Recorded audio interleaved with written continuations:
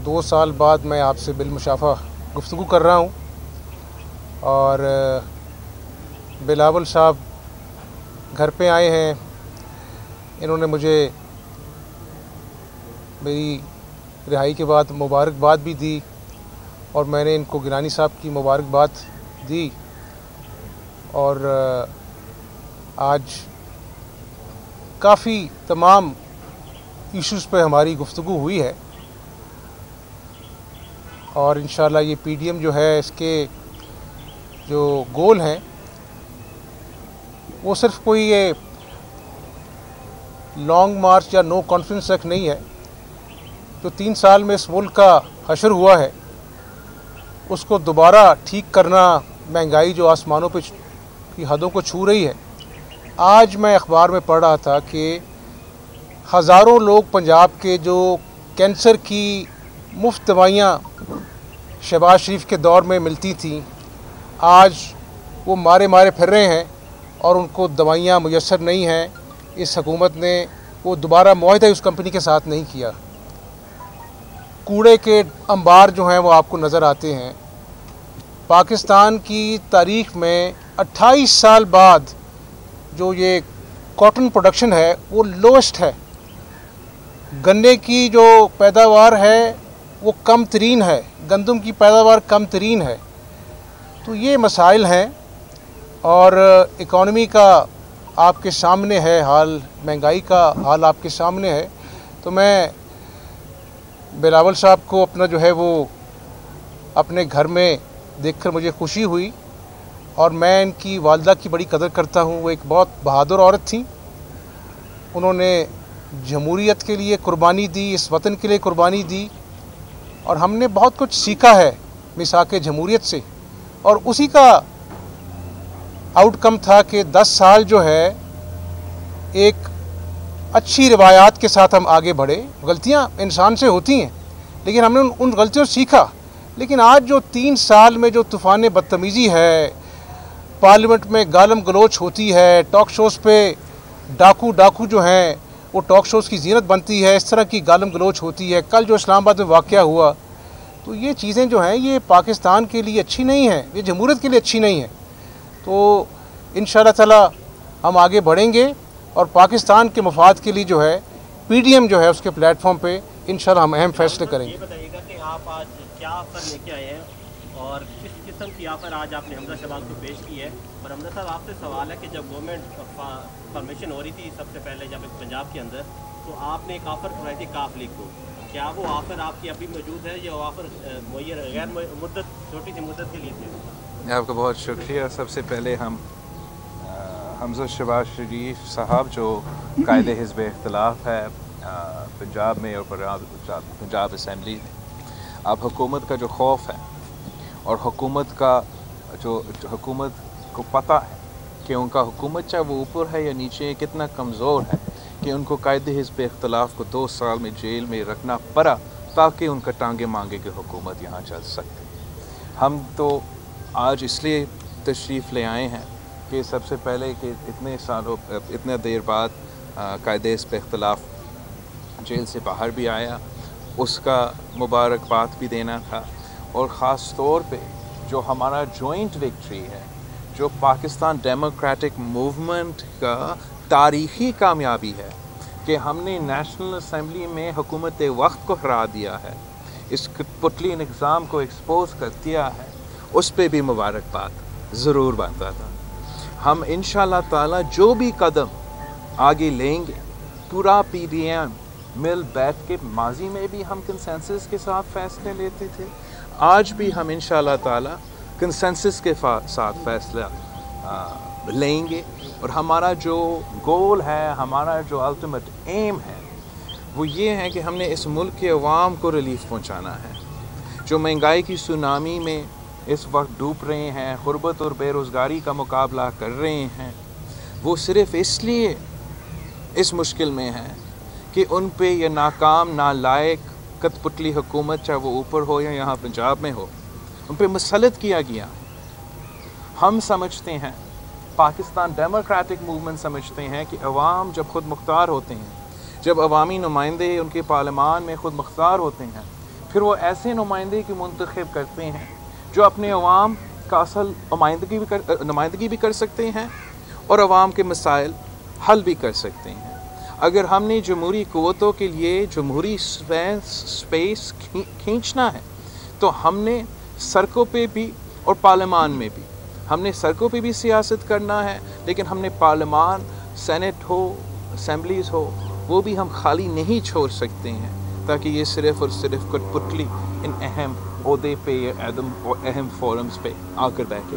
अच्छा सर बताइएगा कि ये भाईचारे की सियासत एक एक एक एक करके एक एक करके। रावल साहब ये बताइए भाईचारे की सियासत बड़ी अच्छी चीज़ है कुछ हुआ तो? सियासतदानों को आपस में लड़ा देनी है उसको कैसे काउंटर करेंगे? और दूसरा मेरा सवाल है कि इमरान खान साहब का जो वोट लिया उन्होंने एतमाद का वो आईनी ज़रूरत थी या उनके अंदर का खौफ अंदर का खौफ तो था ही था आ, लेकिन साथ साथ आप एक मज़ाक भी था ना कि आप अकेला गोरा रेस लड़े और फिर फिर कहे मैं कामयाब हूँ। और उसी भी उसी रेस में भी आप और उस काउंट में भी इसी कॉन्फ्रेंस काउंट में खुद उसको फिर दानली भी करना पड़े। मतलब कि वो जो मेम्बरान दिखाए वो जो मेम्बरान दिखाए गए थे, उतने मौजूद शायद नहीं थे, या शायद वोट नहीं दिए गए मैं दिखाए गए। ये मुझे नहीं पता, मैं खुद मौजूद नहीं था। लेकिन एक अपोजिशन से ताल्लुक़ रखने वाले एम एन ए जो हाउस में मौजूद था अजान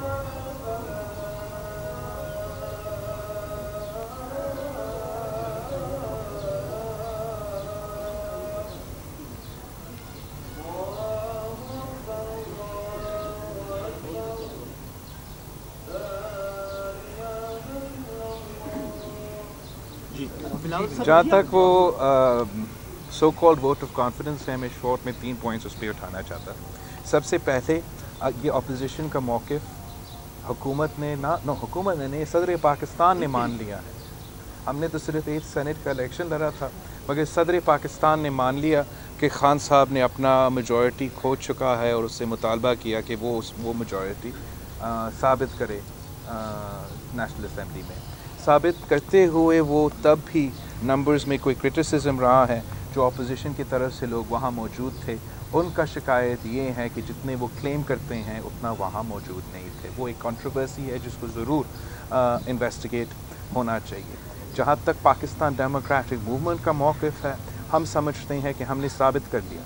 हमने साबित कर दिया बाई इलेक्शंस में। कि मुल्क के कोने कोने से पाकिस्तान डेमोक्रेटिक मूवमेंट जीत गया है, पाकिस्तान तरीके इंसाफ के उम्मीदवार हारे हैं। इसका मतलब ये है कि मुल्क के अवाम तो पाकिस्तान डेमोक्रेटिक मूवमेंट के साथ है। पार्लियामान में गिलानी साहब का सेनेट सीट जीत के हमने ये भी साबित कर लिया है कि पार्लियामान हमारे साथ है। अब वोट ऑफ़ कॉन्फिडेंस के फैसले खान साहब नहीं लेंगे। अब पाकिस्तान डेमोक्रेटिक मूवमेंट ये फैसले लेंगे कि अदम अतमाद कब होगा। और अदम कि आपने पिछले दिन प्रेस कॉन्फ्रेंस की जिसमें आपने ये कहा था कि हमें पता है कि हमने आगाज़ कहाँ से लेना है। आपका इशारा शायद पंजाब की तरफ़ भी था कि पंजाब से शायद आप आगाज़ देने का इरादा रखते हैं तो पीपल्स पार्टी की सात सीटें हैं 160 से ज़्यादा नून लीग की हैं। तो तहरीक अदम एतमाद जहाँ तक जहाँ तक जहाँ तक अदम अतमाद के जो सजेशंस हैं ये पार्लियामान के अंदर रह के उनका मुकाबला करना ये आज का नहीं कल का नहीं मेरा पहला दिन से मौक़ रहा है। और हम पाकिस्तान डेमोक्रेटिक मूवमेंट का जो फाउंडिंग रेजोल्यूशन है जिस पे सारे जमातों का दस्खत है वो तो पॉइंट्स आपके सामने हैं और इसमें ये ऑप्शंस अवेलेबल है। ना जहाँ और कहाँ से आपने शुरू करना है ऑब्वियसली उनका हुकूमत यहाँ है और उनका हुकूमत वफाक में भी है। वफाक में मेरे सिर्फ़ 54 सीट्स हैं नेशनल असम्बली में। वहाँ किसी ने नहीं शिकायत किया जब गिलानी साहब कला सिर्फ़ लगाए हुआ मगर कामयाबी हुआ। यहाँ सबसे बड़ा बड़ा स्टेक होल्डर सबसे बड़ा जो बड़ा पा- पार्लिमानी स्ट्रेंथ है सूबाई असम्बली में है सूबाई असम्बली में वो तो मुस्लिम लीग का है। और कायदे हिजब इख्तलाफ के बग़ैर हम तो कामयाब नहीं होंगे। हम हर कदम पे, चाहे हम पार्लियामान में अंदर मुकाबला कर रहे हो या बाहर कर रहे हो इन ताला हम साथ होंगे साथ मिल के फैसले लेंगे साथ मिल के हमला भी करेंगे और साथ मिल के कामयाब भी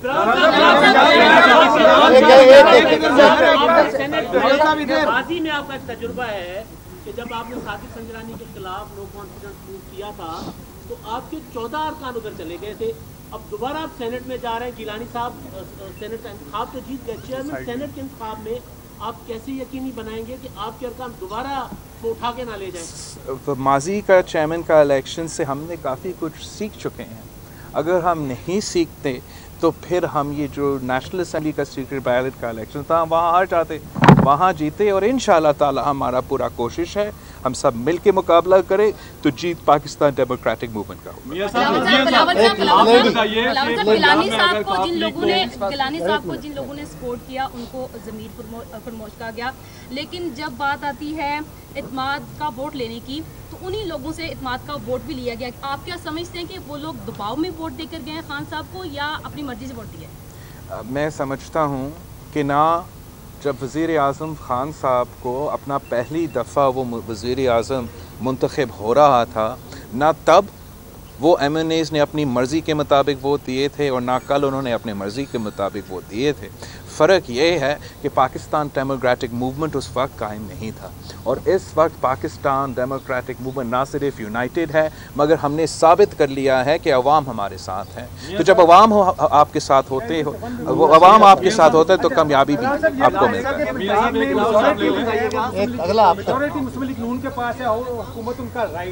तो पंजाब में जरदारी साहब, नवाज़ शरीफ साहब और मौलाना फजल रहमान साहब का फार्मूला कब अपलाई हम ये कोशिश कि हम इस हुकूमत का मुकाबला करें।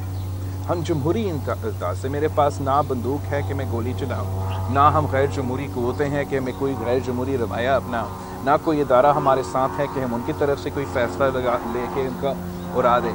हमारा हाथ में क्या हथियार है? अवाम का ताकत है और पार्लियामान है। ये दोनों चीज़ इस्तेमाल करके मैं मेरा ईमान कहता है कि हम किसी भी कठपुतली का मुकाबला कर सकते हैं अगर हमने पाकिस्तान डेमोक्रेटिक मूवमेंट के अंदर किसी जमात को कायल करना है वो तो हमारा ज़िम्मेदारी है और हम सब मिल बैठ के फैसले लेंगे वो और मैं उम्मीद करता हूँ मैं मैं उम्मीद करता हूँ अब पाकिस्तान डेमोक्रेटिक मूवमेंट तो हो ने। इतना बड़ा कामयाबी हासिल किया है नेशनल असम्बली की ये सेनेट के इलेक्शन में, ये इन ताला हमारा ऐसे स्ट्रेटिजिक और सियासी फैसले होंगे ताकि हम आगे जाके हम सब के लिए, पाकिस्तान की आवाम के लिए, जमहूरियत के लिए और कामयाबियाँ हासिल कर सकें। मियाँ साहब, पंजाब में अगर काफली के साथ मैनेज करके कोई अदम तहरीक अदम एतमाद लाई जाती है तो आप काफली के साथ ताउन के लिए तैयार हैं और चूँकि परवेज इलाई को बतौर सी एम भी कुछ रूमर्स आ रही हैं कि वो भी आ सकते हैं। आप बतौर अपोजिशन लीडर उनके साथ चलने को तैयार हैं। और मियाँ साहब ये भी कहा जा रहा है कि तरीके इंसाफ के भी कुछ लोग आप लोगों के साथ रबते में पीडीएम के साथ उनकी तादाद भी कुछ है क्या? सर बतौर अपोजिशन लीडर आपकी सोच क्या है कि कब तक आप ये कर सकते हैं? और दूसरा जो हुकूमती अलाइज हैं क्या आप उनको जो है वो इसमें इंगेज करना चाहेंगे और क्या कोई रबता हुआ है? मैं समझता हूँ कि 2018 के इलेक्शन के बाद आप सब जानते हैं कि पंजाब में मुस्लिम लीग नून जो थी, अददी अक्सरियत के हवाले से सबसे बड़ी जमात थी। और जब 2008 के इलेक्शन हुए तो खैबर पख्तूनख्वा में इसी तरह पीटीआई जो थी, वो लार्जेस्ट पार्टी थी। हम चाहते तो अपनी, हम ख्याल जमातों के साथ उस वक्त हुकूमत बना सकते थे, लेकिन नवाज़ शरीफ साहब ने कहा कि नहीं, जमहूरी असूल हैं। हमने पीटीआई को कहा कि आप हुकूमत बनाएँ। जब 2018 में इलेक्शन हुए, उसके बाद अपना जहाज़ों में एमपीएस को ले जाया गया बनी गाला। पूरी पाकिस्तानी कौम ने देखा तो उस तरफ़ बदतरीन धांधली के बावजूद पंजाब में नवाज़ शरीफ साहब की पार्टी जो थी, वो सबसे बड़ी जमात उभरी। अब जबकि आप लोग ये सवाल कर रहे हैं, ये सवाल इसलिए भी अहमियत का हामिल है कि आज खैबर पख्तूनख्वा में पाँच साल से नहीं, दस साल से पीटीआई की हुकूमत है। और नौशहरा में जो अल्हम्दुलिल्लाह पीडीएम को कामयाबी हुई है, डस्का में हमारा उम्मीदवार जीत रहा था, सिंध में अल्हम्दुलिल्लाह जो अपना जो है वो पीपल्स पार्टी ने सीटें जीती हैं, यानी आठ ज़मनी इलेक्शन में आवाम ने जो है वो इस झूठी तब्दीली के नारे को दफन कर दिया है। और गिलानी साहब तशरीफ़ फरमा है यहाँ पर, आपके सामने मौजूद हैं, ये कोई आज के सियासतदान नहीं हैं? इन्होंने दिहाइयों पे सियासत की है और जो आज जो इनका स्ट्रेचर है, इन्होंने अर्न किया है। तमाम जो हमारी पीडीएम की जमातें हैं, उनको दिल से उन्होंने उम्मीदवार मांगा और अल्लाह ने कामयाबी दी। तो पंजाब में हम पीडीएम की जमातें हैं और हम अपना जो है वो पीडीएम के प्लेटफॉर्म पे फैसले करते हैं। पंजाब सिर्फ़ इशू नहीं है। इशू है कि आज जो इकॉनमी ज़मी बोस हो गई है शहबाज शरीफ, जिसने इस सूबे की खिदमत की, दूसरी मरतबा जेल में है। आप देख लें, एक पाई करप्शन जो है वो आज तक साबित नहीं हो सकी ना नवाज़ शरीफ साहब के ख़िलाफ़, ना शहबाज शरीफ साहब के ख़िलाफ़, ना दीगर खुर्शीद शाह साहब, आप पाबंद सरासल हैं। उनको भी डेढ़ पौने दो साल हो चुके हैं। तो गुजारिश ये है कि कब तक पाबंद सरासल रख कर उसके बावजूद भी आपकी परफॉर्मेंस ये है कि तीन साल बाद लोग जो हैं, महँगाई का रोना रो रहे हैं बेरोज़गारी का रोना रो रहे हैं, वो पचास लाख घर का जो आपने नारा लगाया था, वो नारा आज कहाँ हवा में चला गया? आज वो एक करोड़ नौकरियाँ, लाखों लोग आज बेरोज़गार हो गए। तो गुजारिश ये है कि हमें पाकिस्तान की आवाम के उमंगों के ऐन मुताबिक, और ये जो अभी आप बात कर रहे हैं, गिलानी साहब की जीत की, ये जीत सिर्फ़ पार्लियामेंट में नहीं है।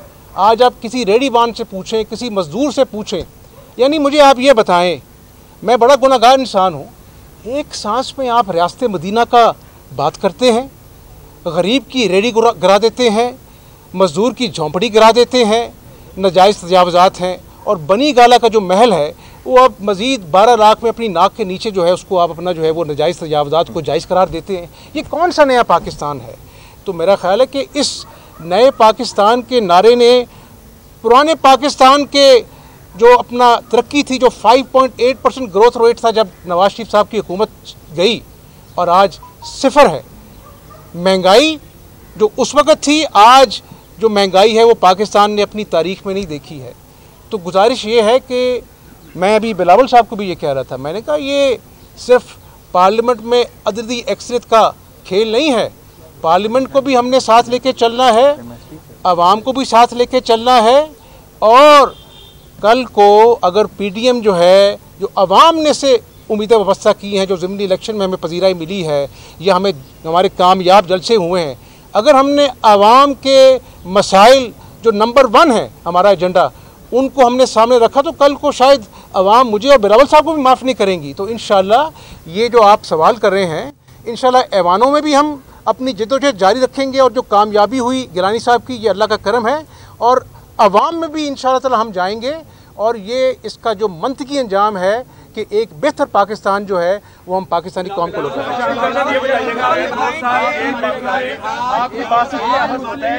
आपका सवाल एक मिनट यार एक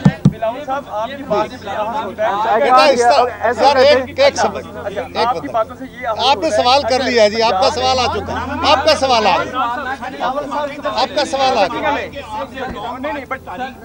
बिल्कुल सर के ऊपर आ गई है। तो आपको लगता है कि लोगों को आप बाहर लाने में कामयाब होंगे इन ताला हम कामयाबी होंगे लेकिन मैं आप सबको जो यहाँ पंजाब के कैपिटल में आप सब यहाँ रहते हो आप लाहौर में रहते हो मैं आपसे पूछता हूँ क्या आप नहीं चाहते हो कि पाकिस्तान डेमोक्रेटिक मूवमेंट पंजाब को बचाए। क्या आप नहीं चाहते हो कि पाकिस्तान डेमोक्रेटिक मूवमेंट इस वसीम अकरम प्लस को फारे करे, ताकि पाकिस्तान का सबसे बड़ा सूबा को एटलीस्ट हाफ़ कॉम्पिटेंट वज़ीर आला मिले, ताकि ये जो मसला आपके सामने आ रही, आपका पूरा पाकिस्तान के लिए एग्ज़ाम्पल होता था। पूरा पाकिस्तान के लिए एग्ज़ाम्पल होता था कि लाहौर जिस तरीके से माशाल्लाह, यहाँ का कंडीशंस थे। और अब पूरा पाकिस्तान में एक दूसरा किस्म का एग्ज़ाम्पल बन चुका है। और जैसा हमज़ा भाई कह भाई कह रहा था, अगर पाकिस्तान डेमोक्रेटिक मूवमेंट अवाम की उम्मीदों पर नहीं उतरे, उतरते हैं तो जो सलूक आज पीटीआई के साथ हो रहे हैं बाई इलेक्शंस में। अगर हम उनके एक्सपेक्टेशंस के मुताबिक काम नहीं करते हैं, इस हुकूमत को हर जगह पे, हर सतह पे चैलेंज नहीं करते हैं तो हमारा भी सलूक ऐसा ही होगा। हमारे ऊपर बहुत सा प्रेशर है कि हम इस हुकूमत को हर फोरम पे, हर मैदान पे टफ टाइम दे और पाकिस्तान डेमोक्रेटिक मूवमेंट ये फैसले लेंगे कंसेंसस के पास ये फैसले साथ ये फैसले लेंगे और जब ये फैसले लिए जाएँगे तो हम हम इन पे इन ताला मिल के अमल भी करेंगे। ये सेनेट का इलेक्शन है चेयरमैन साहब का ये साहब गिलानी साहब खड़े हैं। तो चौधरीयों के पास भी एक वोट है सेनेट का तो आप उनसे वोट मांगने के लिए जाएँगे आज? हम तो आ, हर जो सेनेट में मुंतखब हुआ है हर सेनेटर को रबता कर रहे हैं रिक्वेस्ट कर रहे हैं कि वो वोट मांगे। गिलानी साहब ने तकरीबन बहुत से ज़्यादा जो मम्बरान सेनेट है उनसे रिक्वेस्ट किया है वोट का। और चौधरी साहिबान जो है हमारा जब हम हुकूमत में थे आ, जब वज़ी अजम गिलानी साहब था तो हमारा इतिहादी भी थे। मैं ज़रूर खुद उनका घर पहुँच के उनसे वोट मांग। छब्बीस तारीख छब्बीस तारीख को लॉन्ग मार्च होने जा रहा है छब्बीस तारीख को लॉन्ग मार्च होने जा रहा है तो इस हवाले से ये बताइएगा कि इस्लामाबाद में जाकर ये लॉन्ग मार्च क्या सूरत शक्ल इख्तियार करेगा? क्या ये धरना होगा? या कि कोई इसकी और सूरत हाल होगी क्योंकि मुस्लिम लीग नून में और पीपल्स पार्टी में इस हवाले से थोड़ा सा इख्तलाफ तो पाकिस्तान डेमोक्रेटिक मूवमेंट ने ये फैसले लेने हैं और साथ मिलकर ये फैसले लेने हैं।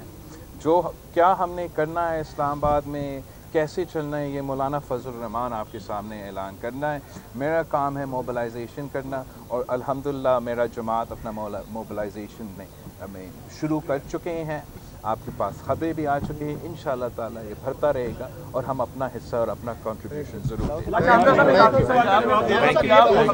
जेल में गुजारे पीटीए की जानी से क्लेम किया जाता है कि जेल में आप लोगों को बहुत ज़्यादा वीआईपी प्रोटोकॉल जो है वो दिया जाता रहा काइंडली उस वीआईपी प्रोटोकॉल के बारे में बताइएगा जो सो कॉल जेल के अंदर आपको दिया जाता रहा मैं मैं उनको ऑफ़र करता हूँ कि दो साल वो भी जेल में गुजारते हैं